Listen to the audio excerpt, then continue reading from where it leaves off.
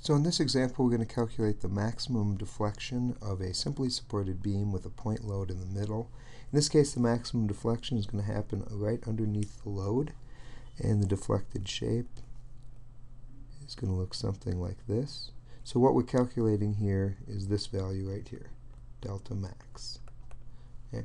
And we would go to our tables and we would find the equation for this, delta max is equal to PL cubed over 48 EI. So this equation only applies to this particular loading condition, a single point load right in the middle. If the point load wasn't in the middle, if there were more than one point loads, we would have a different equation. So don't try to apply this equation to other conditions. So let's look at the different parameters here. Let's start with P. P is equal to 50 kips. L, L is equal to 20 feet because L is the overall dimension. And what about E and I? Well, E is the modulus of elasticity. So we need to know what material it is. So let's assume that this is steel. We look steel up in a table and we find E it's equal to 29,000 KSI. And finally, we need to know I. So I is a property of the shape. So let's assume that this is a steel beam, a W18 by 40. We'd look that up in the table. And I is equal to 612 inches to the fourth. Now before we just start plugging these into the equation, we need to look at a few things. Let's look at the units here. We have kips, we have feet, we have kips per square inch, and inches to the fourth. For these problems, because your deflection is something we usually calculate in terms of inches. So we usually want this to be in inches. We want to get everything over here with consistent units. So what I recommend is you convert your feet to inches right away. So um, 12 inches per foot times 20 feet is 240 inches. Now we can plug this into the equation. Delta is equal to P, which is 50 kips, times L, which is 240 inches, and it's just the 240 that's going to the third power, divided by 48. 48 is a coefficient, doesn't have any units on it. 29,000 KSI. There's our E, and then 612 inches to the fourth.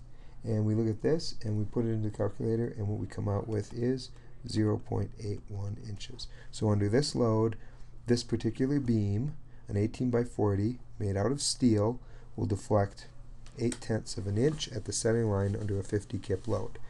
The um, different materials, different shape would have different deflections.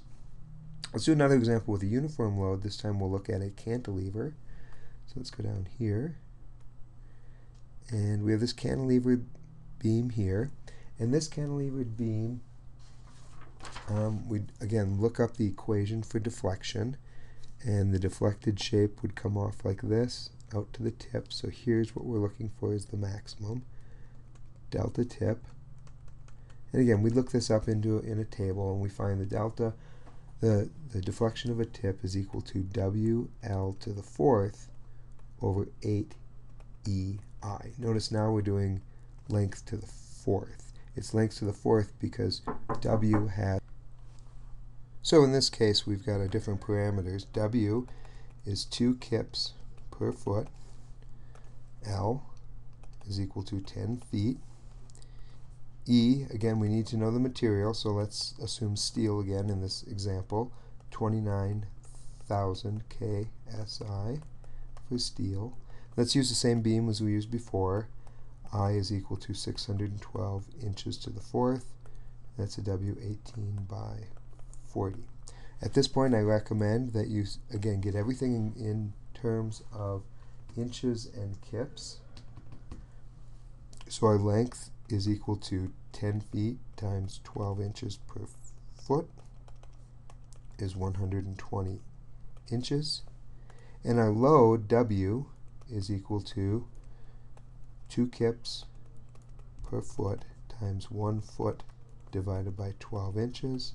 and that gives us 0.1667 kips per inch. Now we have everything consistent, we can plug it in. So let's go ahead and do the math.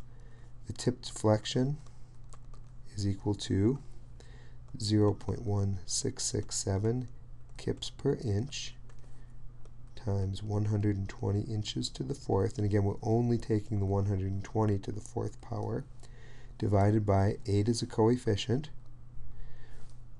modulus elasticity is 29,000 ksi, and our moment of inertia is 612 inches to the fourth, and if we put this all in, we get 0.243 inches. So that tells us the tip of this beam will deflect 0.243 inches. What we would then do is we would compare this to allowable deflections. And I'm going to do an example of that one in another video.